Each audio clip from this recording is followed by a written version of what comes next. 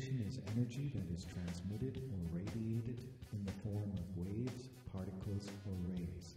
It is also the spontaneous emission of a stream of particles or electromagnetic